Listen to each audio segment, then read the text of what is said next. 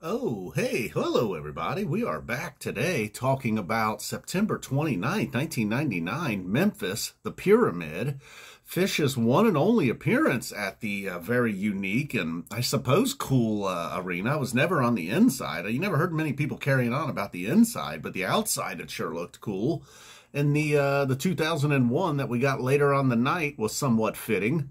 I don't know why. I don't know why. Look, I don't think aliens built the pyramids. It's not what I'm getting at. In fact, I don't know why they go hand in hand, actually.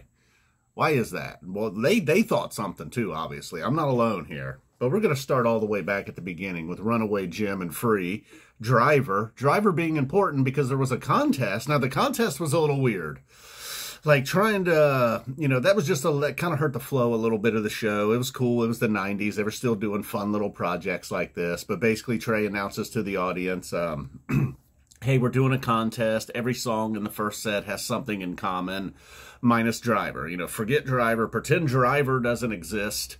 And uh, every other song we're playing in this set has something in common other than the new song Driver. That's driver. So I don't know if driver was a bit of a hint or not, but the answer was everything was played in the song of key, or the, the key of the song of key, the key of D, every song except driver. Again, it's going to keep hammering home the fact that driver was in this set, and it starts with a D. Every other song played in the key of D. That was in fact. But enough, enough about all that nonsense. You know, it's really just like kind of screwed up the show. It's screwing up the recap here, whatever. They did some Phish nonsense. A couple of people won. Shout out to the Water Wheel. Doing good work for decades now, the Water Wheel. How about that? So the Runaway Jim free opener both great, obviously. Uh, the Freed had, you know, sort of had that 90s feel to it, the, the Trey-driven effects, a lot of it, but both songs early on, you see this is a lot of Trey and Fishman. That becomes a theme. The Taste was another one after the Driver. And it still had, it had bits of like, there were still leftovers from the, uh, the kind of funk that they were playing just a couple of years earlier. And now you mix in all of these effects, you know, effects that were from maybe the pre-funk era, so they had kind of combined, you know, what they were doing there in 95 and 96 and 97, obviously. You know, this is no mystery at this point. And, uh, but then the taste was really, uh, just, uh, Trey, you know, kind of really going solo a few times on the night here. And then with Fishman being right behind him, not, uh, you know, not a lot of Page compared to nowadays. Now, there was moments throughout, uh, maybe Stash Page got going in 2001 late in that jam. So then we get a Dirt and a Nellie Kane. Very, a crazy rowdy crowd too. I mean, just shouting out requests all night. And then if the request wasn't fulfilled, they would just go crazy for whatever song it was. and then, you know, early on from Taste all the way through Cities, really, you know, and Free and Runaway Jim it was just a rowdy, loud crowd down in Memphis on this night. Very, you know, very fitting for 99. Things things were happening in 99, so... So then after the Dirt Nellie Kane, we get a stash, stash in, you know, we get a nice cool stash going. And then the last couple of minutes of stash, I don't, they, they were teasing something or just flat out playing something. I don't know the song. I didn't take the time to look it up on .net, but I know that was not just, um, totally improvised, you know, some obscure song or maybe not so obscure to most of you. Um, to a lot of you, but I don't know what that was. It was familiar, but yet I don't know what it was. But yet it was very cool. It had kind of a uh, dun dun dun dun dun, like I don't know, almost like something you would hear at a sporting event or something. Um, so then, yeah, that's when they broke things up for the contest announcement. I suppose that's what it was, maybe. Yeah, it had like a like a carnival feel to it, I suppose. Okay, so then that was leading. I'm just this is just now hitting me, looking back at it rather than sitting down and listening.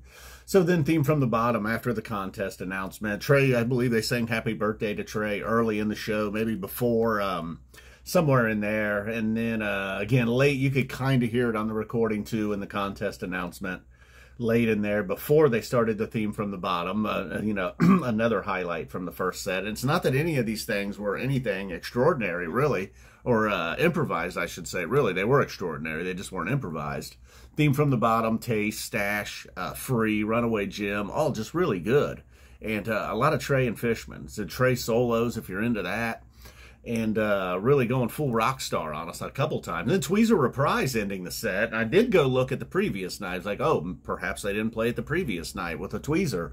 Well, they did play Tweezer the previous night, and they did play Reprise the Tweezer. Tweezer Reprise the previous night as well. So then the second set gets going. And this, while the first set was very good, just one worthy of listening to, Um, the second set, things get a little bit crazy. Now, the Gotta Jibboo, the effects were a little loud. I don't know.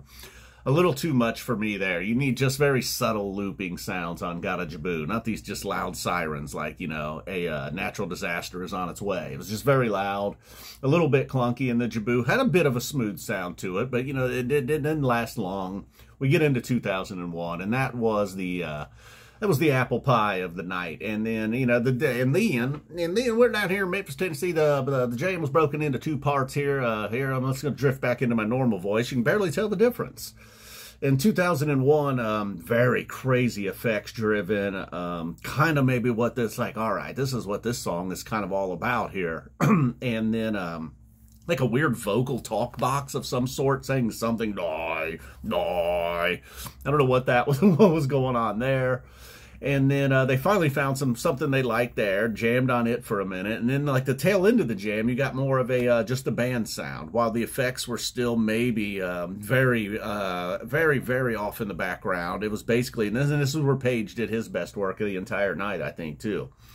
Then we get into a down with disease. Uh, so that part, the whole 2001 was really good, actually. 21 and a half minutes, and most of it was good. Kind of how I, maybe that's why I'm not so you know, this is like, is an all-timer 2001. They can't all be that, but they, they should be something like that almost every time, maybe. That song should be a little more rare and special. Something like what we got on this night. So then the Down with Disease follows, the third song of the second set. A mostly stayed hard type one on this Down with Disease, fast and hard, very, a lot of tempo, very you know, you get you like listening to all of Summer 24, there's a certain tempo to the whole thing that was uh, not the same in the 90s, that's for sure.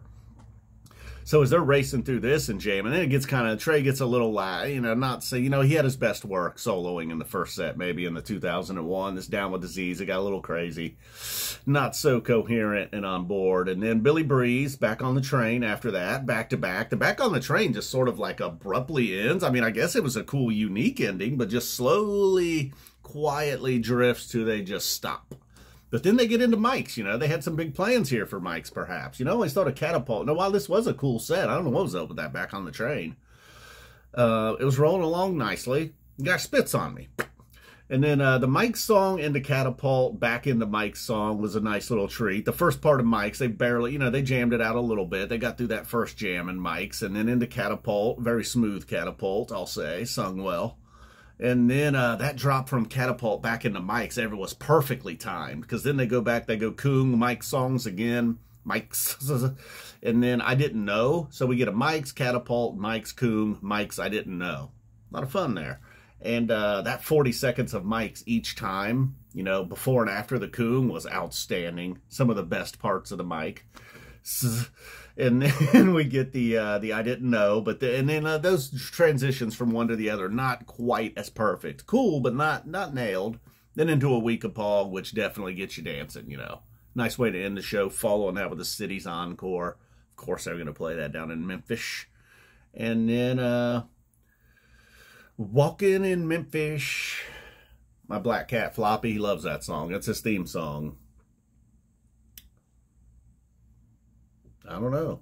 Walking in Memphis. I mean, it's okay. I don't love the song, to be honest, but if he likes it, you know, he likes to drive down the road, roll the windows down, let his little wind blow on his little ears.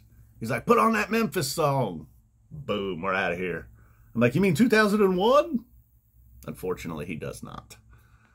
Love you. I, oh, shit. John, John, I believe, requested this. Thank you, member John, if you're still here. Almost nine minutes in. I believe it was John. Yes, it was. J H M R E.